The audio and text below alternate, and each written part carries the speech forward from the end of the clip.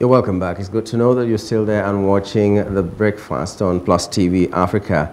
Well, like we said at the beginning, experts say small businesses drive the economy. But as much as people want to go into business, there is this question, this issue of deciding what type of company to set up and the likely challenges.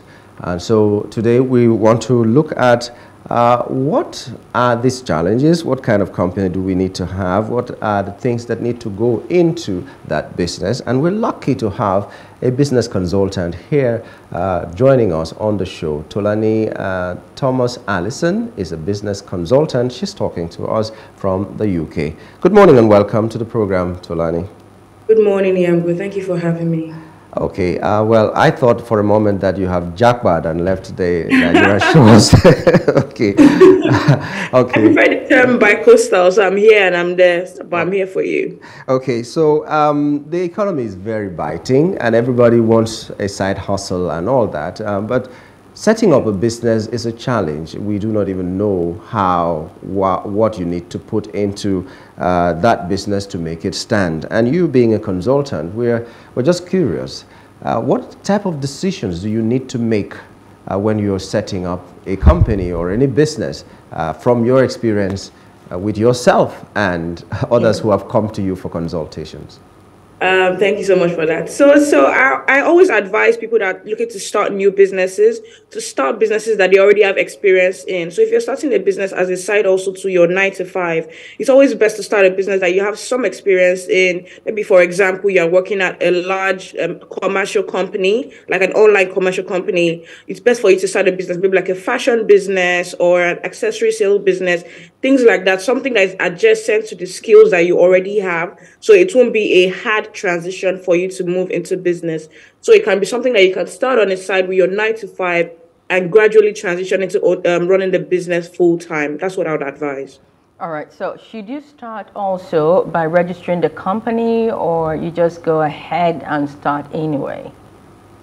Okay. So sometimes we have um, ideas that sound great um, on paper or that sound great when you first have the idea, but in reality, it might not be something that will work out. So I, I would advise, like, for the first three months of the business, try it out and see if you're going to get clients. If you run a business for five months or for three months um, and you get five clients, that's something that means that the business is viable. If you have people that are willing to pay for what you're doing, whether it's a retail business or it's a service business, um, you have the validation that there's customers available for you, then you can go ad- ahead to register the business name and do all the setup. But first, test and ensure that there's a market for you, that there are customers willing to pay for what um, your business idea is. Do the research first. Um, I use like at least three months, three to six months to test the market to see if there are customers available for you before going ahead to register the business name. All right, now that we're talking about registering the business name, let's also bring in the issue of trademarking. Uh, that's mm. something I have come to realize that many people are really not so aware of. Uh, they're not so aware of how important it is to trademark a name. Talk to mm. us about trademarking vis-a-vis registering uh, your business company.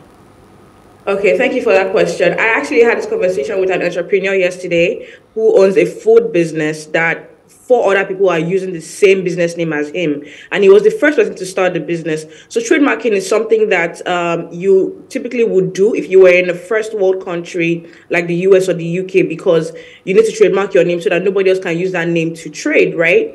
But with businesses in Nigeria, we we operate in an economy that people people don't regard such um, you know, concepts. Like they feel like trademark is okay, you're trying to stop my shine. You've built your own business. I'm trying to run a similar business to you. And you believe that, okay, because you started the name or you started a business first with that name, somebody else can't trade in that name. Trademark is absurd to most average Nigerian business owners, but it's something that we have to take into consideration because you find that most of the time people can use um, the fact that trademark is not taken seriously in Nigeria to set up businesses that will run parallel to your business and be making money based on the goodwill that you've built with your own business name. So for trademarking, I would advise, you know, if you're serious, serious about your business and you're really looking to grow in the next five, ten years, you should go and trademark the name in Nigeria.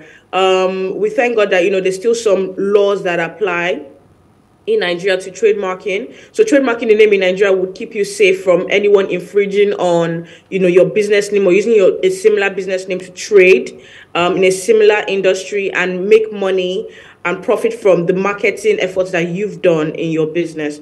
So I, I would advise businesses that that have, you know, that have the intention to grow in the next five to ten years to trademark their business name to avoid, you know, infringements or issues of people using the business name to scam other customers. So yes, I would advise that. Okay. Um, earlier on, you talked about uh, testing your business before you get it registered, so that you know that there's validation. You will have customers, and all those are the words you used.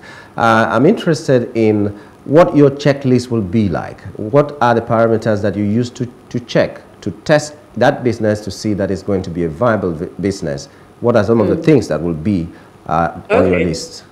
Um, so what I would test first of all is when I have a when there's a new business idea, what I would do personally is I would tell at least three people that I know every day for the next 30 days that I have this new business idea and this is what I want to do. So I would write out what the business idea is. Okay, this is what I want to do. I want to start selling fish, for example. And I'll tell three people for the next 30 days, that's 90, 90 something people. You should know 90 people, right? So tell them about it, you know, get their opinions on what they think about it, and if they will patronize you. If they say, oh, they're interested in seeing what you do with the business, um, get their names, get their, uh, you have their names already, apologies. Get their numbers and emails and document it, you know, write it down so that you know, okay, I have these 90 people that are interested in my business. So that's you doing market research, first of all, to understand that there's a demand for your products. So if you don't do the market research, I wouldn't advise that you start the business. Most people start business, open a store, and wonder why people are not coming because you didn't do the research first and then you're going to have to start struggling to get customers into the store you know to your website etc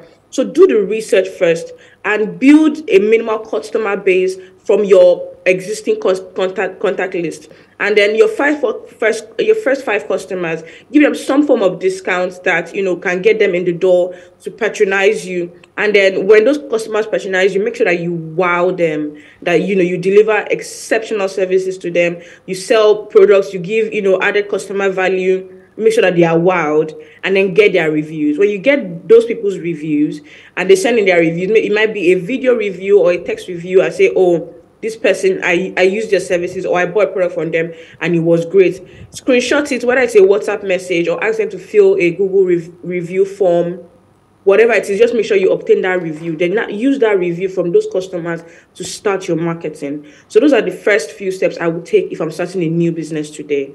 Tolani, Talk to someone who has a shy personality, you know, mm. an introverted personality. Because what you just said sounds really good, but someone who's introverted or who's shy, I don't like to talk to people. I wouldn't want to disturb people and tell them. Talk to someone who has that personality yet is interested in building a business. Um, so I, I do get this with clients that they come to me and say, you know, they can't go for networking events because it might be awkward for them or they're shy to talk to strangers. Um, the first thing I would say is if you're starting business as a CEO, you are the chief sales officer. You are the number one person that would lead the sales team to sell your services and your products. So you have to step out of your comfort zone. Um, introverted entrepreneurs always find ways to sell their products regardless. Um, but I would advise if you're shy and you're introverted and you're not, you know, go go rara like I am, um, I would advise that you try networking online. So when you when you're networking online, there's you know the internet to hide behind essentially, and you can you know network on LinkedIn, network on Instagram. You know, go to pages of people that have a similar target audience to you, the type of customers you're looking for, follow these people, you know, comment on their posts, share their posts, you know, network with them, send them DMs and say, Oh, I like what you're doing. And you know, I would like to, you know, support you in whatever way I can. So I'll be sharing your post or I'll be commenting on your post from um, now henceforth. So there are ways you can network without leaving your house. Thank God for the internet today um, so you can go on LinkedIn, try to meet people, send them DMs. So I'm looking to connect.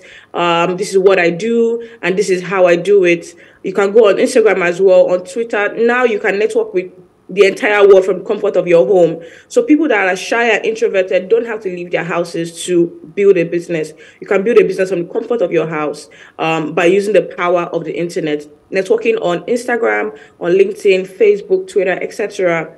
Um, you would be able to build a customer base that is interested in your products and your services by leveraging what you have at your disposal the internet. Okay, uh, our time is limited, uh, Tolani, but um, I, am interested also in the fact that you are you run a consulting business, a consultancy. Is that how you call it? Your people come to you for advice. Uh, yeah. Tell us what companies like yours uh, do to help people who are trying to go into business or who are in business and struggling. What kind of services um, will someone who is trying to do business well get from a consulting firm like yours? Because some people may be interested, they have the plan, they have everything in their head that is looking so good, but they need someone to translate that into an actionable plan. So what is obtainable in consultancies like yours? Okay, thank you for that, Yamgo. Um, so what we do um, at our consulting company, Halis Consults, is that we can help you develop a business plan, a roadmap for you to get started in business. So we develop a business plan based on the business idea that you have and develop action points that you can take. So we develop a business plan with an actionable plan that you would help you execute your business idea in a way that you know would be easy for you to execute based on kind of person that you are or kind of structure that you are uh, you have already and we'll give you the steps that you need to take to build a viable business in the next one to three months. So, how we can help with um, you having a business idea, looking to set up, is by giving you a business plan, an actionable business plan as a business roadmap for you to get started in your business today. Do you help people, or are you capable of helping people who do not actually have business plans? They are not focused about any kind of business, they're not sure what field or line to toe, can you help such persons find focus?